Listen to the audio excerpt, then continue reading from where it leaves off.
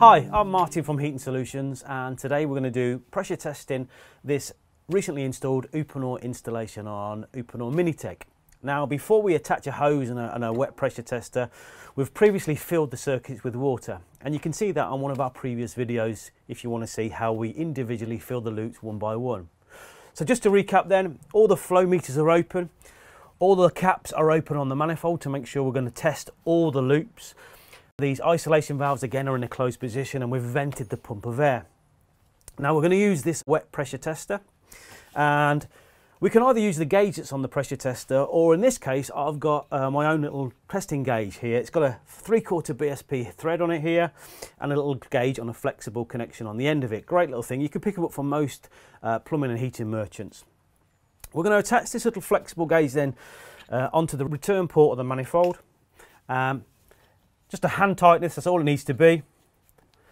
And with a little key that's in the end here, we're just going to open up that return fill and vent port. And that will tell me what the pressure was that uh, was left in the system once we filled the circuits.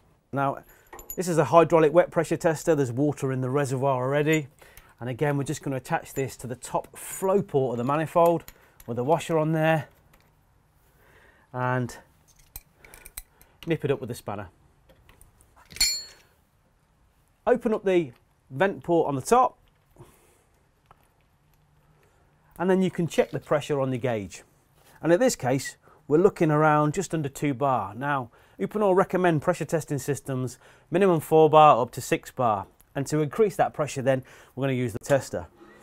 So as we increase the pressure in the system, in this case we're going to go up to about 6 bar on the reading and let it stabilise. Now depending on what pipe you've used, whether you've used multi-layer pipe or PEX for your installation or even PERT pipe, you will get what we commonly call stabilisation.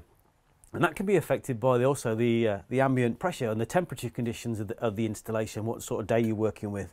So don't be surprised if you pressure test the system, take it up to your necessary pressure, um, and then it just stabilizes and drops a little bit. If it drops to zero, then yeah, we've got a bit of a problem. We need to do something about it and investigate and check all the connections. But by losing half a bar, even up to sometimes up to a bar in that first half an hour can be common. And if you have, come back, re-pressure test it or re-pressurize it to the correct pressure and just make sure it stabilizes. Once you've got stabilization, then all I would do is lock off the pressure tester. You've captured that pressure in your gauge and then you can actually depressurize and take off your pressure tester and remove it from the installation.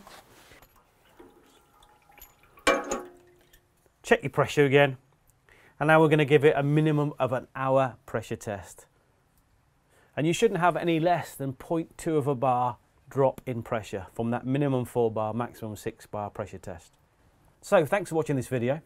Um, if you need any help or assistance with your installation, you can always pop onto YouTube and look at some of the other Uponor videos that are on there.